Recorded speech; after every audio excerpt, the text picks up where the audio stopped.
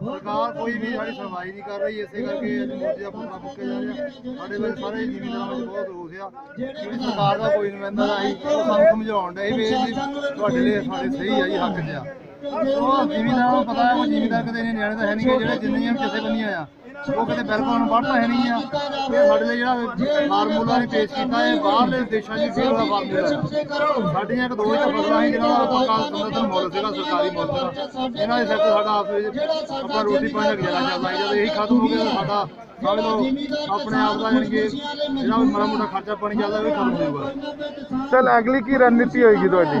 ਅਗਲੀ ਰਣਨੀਤੀ ਜਦ ਜੋ ਵੀ ਸਾਡੇ ਹਾਈ ਕਮਾਂਡ ਸਾਨੂੰ ਨਿਰਦੇਸ਼ ਦੇਣਗੇ, ਉਸ ਹਿਸਾਬ ਨਾਲ ਗਾਹ ਤੋਂ ਜਾ ਚੱਲਿਆ ਜਾਊਗਾ, ਸਾਡੀ 20 ਤਰੀਕ ਦੀ ਮੀਟਿੰਗ ਹੈ ਕਿਸਾਨ ਯੂਨੀਅਨ ਉਸ ਤੋਂ ਬਾਅਦ ਜੋ ਸਾਨੂੰ ਆਪਸ ਵਿੱਚ ਸਹੀ ਲੱਗੂਗਾ, ਉਹ ਉਸ ਆਧਾਰ ਤੇ ਅਸੀਂ ਆਪਣਾ ਜੋ ਵੀ ਤਿਆਰ ਕਰਾਂਗੇ।